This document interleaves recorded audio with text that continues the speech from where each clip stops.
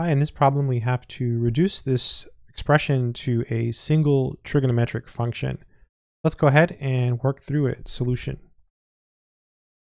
So there are a couple of ways to do this. We can start right away by using an identity. If you know the identity for 1 plus tan squared, that's a good place to start. So let's go ahead and start with that.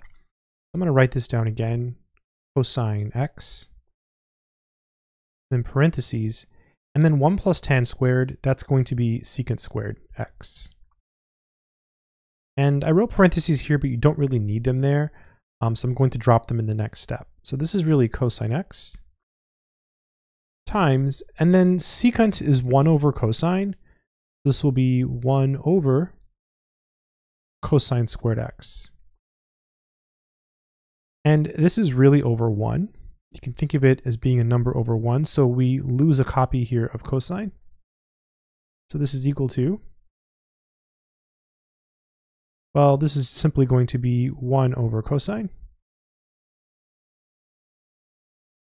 And 1 over cosine is the familiar secant function. So this is equal to the secant of x. And that's it. We've taken our original expression uh, which was this one, and we reduced it to a single trig function. I hope this has been helpful. Good luck.